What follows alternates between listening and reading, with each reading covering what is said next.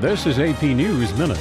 Eight people are dead after a shooting rampage at this North Carolina nursing home. Authorities say the suspect was not an employee at the facility and is not believed to be related to any of the victims, the motive not revealed. Obama administration officials say Rick Wagoner is stepping down as the head of GM.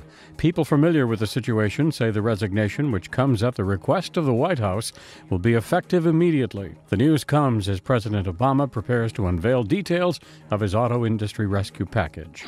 At least 22 people are dead and more than 130 wounded after a stampede during a World Cup qualifying soccer match. Authorities say fans pushed against each other shortly before a game between the Ivory Coast and Malawi, setting off a panic.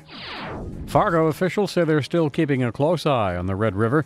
The river crested just after midnight Saturday, but it remains more than 20 feet above flood stage. Helicopters will drop sandbags near weak sections of levees later today. Brian Thomas, The Associated Press, with AP News Minute.